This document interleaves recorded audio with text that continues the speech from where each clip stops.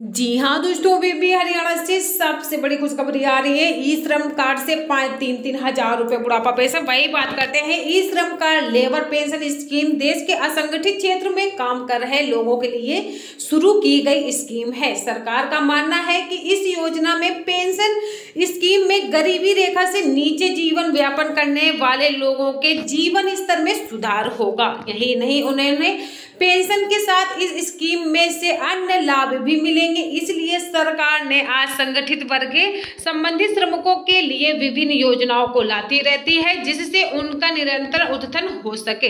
केंद्र सरकार की मोदी सरकार ने एक बार फिर से ई श्रम कार्ड पोर्टल के माध्यम से पात्र लोगों के आवेदन मांगे हैं।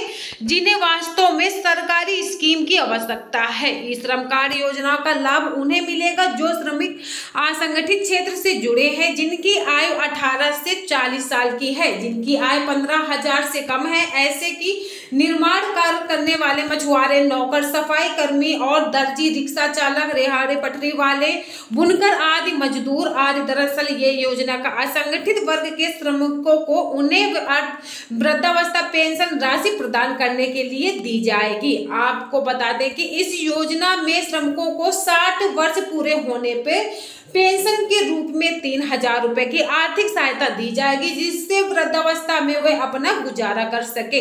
यही नहीं, यदि श्रमिक की मृत्यु हो जाती है तो ऐसी स्थिति में उसके जीवन साथी को पंद्रह सौ रुपए की मासिक पेंशन मिलनी शुरू हो जाएगी। तो जुड़े रहे आप सभी लोग हमारे साथ, हमारे वीडियो को अंदर तक देखें लाइक और सब्सक्राइब करना मत भूलिएगा।